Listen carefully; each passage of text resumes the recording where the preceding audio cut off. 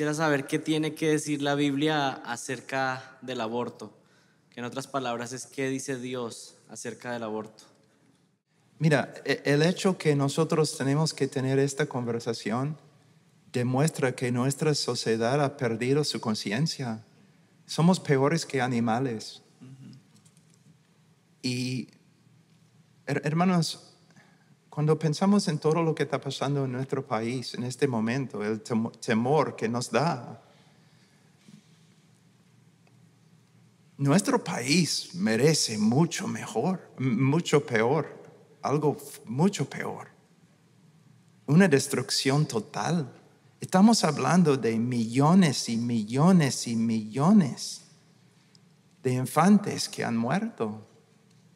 Si Dios no juzga a los Estados Unidos, va a tener que pedir disculpas, ¿no? A Hitler. No, hermanos, eso es inconcebible ah, que, que no estemos en este momento llorando. Y, y no solamente la raíz se encuentra en la rebeldía contra Dios, siempre. Y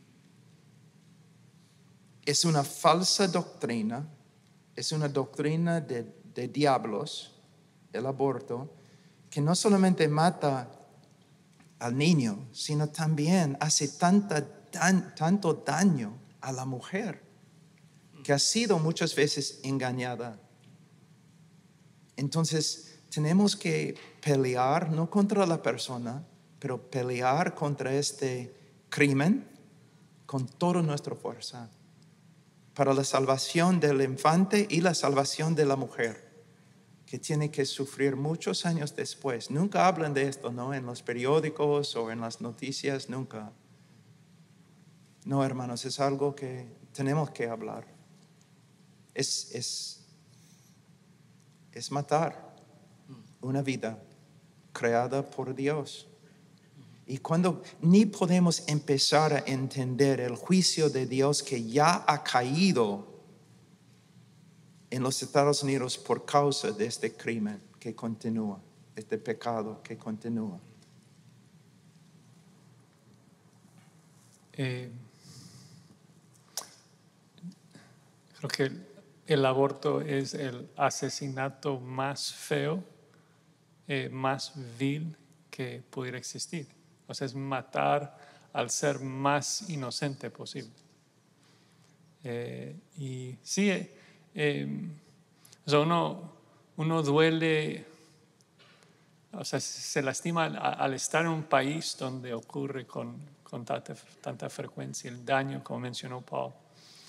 Eh, o sea, es, si nosotros viviéramos en un país en donde, o sea, nuestros vecinos literalmente están asesinando a sus niños de 5 años, de 6 años, de 8 años, y estuviéramos ahí viéndolos hacerlo, ¿qué- ¿cómo reaccionaríamos? No podríamos no llorar, sería imposible. Y hemos sido eh, realmente engañados por la sociedad, por muchos factores, al, al ver de que un vecino puede hacer un aborto y como que le vemos algo diferente que si hubiera matado a su hijo de 15 años. Pero bíblicamente no es diferente. Cada ser es hecho a la imagen de Dios desde la concepción. Y, y me duele aún más el hecho de que hay personas que se llaman cristianas que piensan que la Biblia no es clara en eso. La Biblia es clarísima.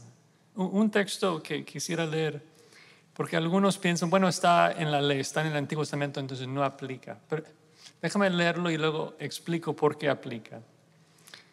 O sea, en la ley Dios dice varias veces de que si alguien mata a otra persona, que obviamente, o sea, es recibe pena de muerte. Eso es establecido. Si, una- si un hombre mata a una mujer, la pena de muerte establecida. Pero en Éxodo 21, 22, está hablando de otro caso.